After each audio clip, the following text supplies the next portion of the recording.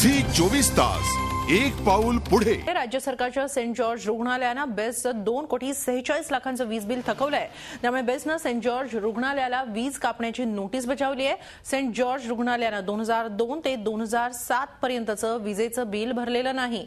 मात्र Saint George रुग्णालयानं या नोटिसीला उत्तर दिलेलं नाही. हॉस्पिटल असल्यामुळे हॉस्पिटलची लाइट कापावी एवढी बी एस टी उलट्या काळजाची नाही आहे का तर रुग्णसेवा आणि बी एस टी सेवाभावावरच चालते. रुग्णांना हाल व्हावेत ऑपरेशन थांबावं अशी आमची भावना नाही. पण त्यांना आम्ही एक सर्टन पिरियड दिलेला आहे. तर आपल्या माध्यमातून जी चोवीस तासच्या माध्यमातून विनंती महाराष्ट्र गव्हर्मेंटला की बी एस टी पण सध्या नाजूक स्थितीत चालते आहे. तर थकीत बिलं जर का महाराष्ट्र शासनाने ठेवली तर बी एस टीला पण भरपूरचा त्रास होईल. जनता जनार्दन प योग्य वेळेला संपूर्ण बिलं भरते.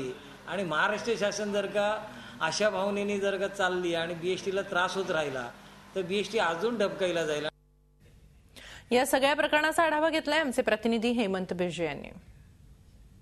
राज्याच्या आरोग्य विभागाचं हेच ते सेंट जॉर्ज रुग्णालय आहे. या रुग्णालयानं दोन कोटी सेहेचाळीस लाखाचं विजेचं बेस्टचं बिल भरलेलं नाही. त्यामुळे बेस्टनं सेंट जॉर्ज हॉस्पिटलला नोटीस दिलेली आहे. आणि हे जर पंधरा दिवसात विजेचं बिल भरलं नाही तर रुग्णालयाचं वीज कापलं जाईल अशा पद्धतीची ही नोटीस आहे. या नोटिसीमुळे सेंट जॉर्ज रुग्णालयाचं प्रशासन सेंट जॉर्ज रुग्णालयाचे डॉक्टर्स त्याचबरोबर राज्याचा आरोग्य विभाग धावपळ सुरू झाली आहे. राज्याच्या आरोग्य विभागाने या नोटिसीला उत्तर देण्यासाठी सुरुवात केलेली आहे. आणि हे विजेचं बिल पण गेल्या अकरा ते बारा वर्षापूर्वीचं आहे असं सांगितलं जात आहे. त्यामुळे हे विजेचं बिल जर त्वरित भरलं गेलं नाही तर रुग्णालयातल्या रुग्णांचे मोठे हाल होतील अशा पद्धतीचं चित्र आहे. आपण पाहू शकता या याच्यावर रुग्णालयाचं प्रशासन कुठल्याही पद्धतीचं उत्तर द्यायला तयार नाही आहे. आम्हाला कॅमेरा रोखण्याचा प्रयत्न होत आहे पण रुग्णांचे हाल मात्र होणार आहेत. Video journalist सुमेशसह Hemant Birje Zee media Mumbai.